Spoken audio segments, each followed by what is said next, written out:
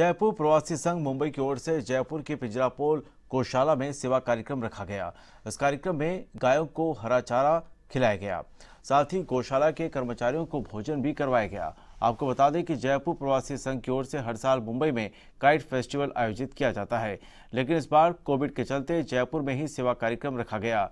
कार्यक्रम में पूर्व केंद्रीय मंत्री और जयपुर ग्रामीण सांसद राज्यवर्धन सिंह राठौड़ और एवन टीवी के चैनल हेड अनिल लोहड़ा ने भी शिरकत की। इस दौरान राठौड़ ने भी गायों को चारा खिलाया और कर्मचारियों को भोजन करवाया।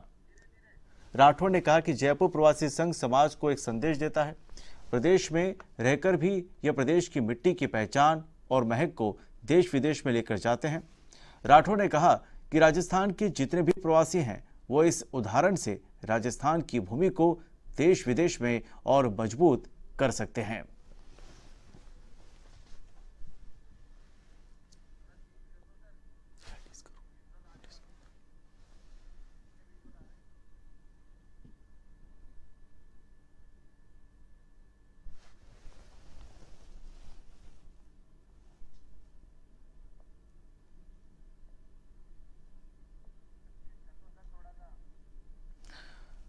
तो पिंजरापोल गौशाला में सेवा कार्यक्रम ये संपन्न हुआ और इस कार्यक्रम में पूर्व केंद्रीय मंत्री राज्यवर्धन सिंह राठौड़ मौजूद रहे। इसके अलावा एवन टीवी के चैनल हेड अनिल लोड़ा भी इस समय समय मौजूद रहे।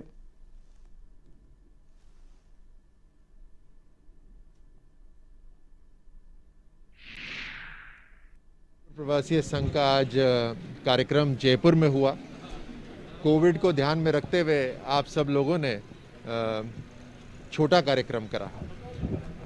किशन कुमार जी यहाँ पे मौजूद हैं। ये सभी मैं जयपुर प्रवासी संघ के जितने भी लोग हैं, चाहे देश में हो या विदेश में हो, मैं आप सभी को धन्यवाद देना चाहता हूँ।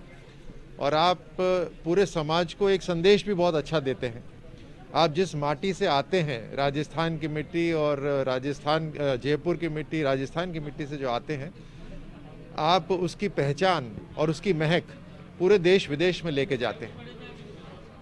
और आप जिस स्थान पे पहुँचे हैं, वो कई पुश्तों के कर्म से आप वहाँ पहुँचते हैं तो उसे याद रखिए।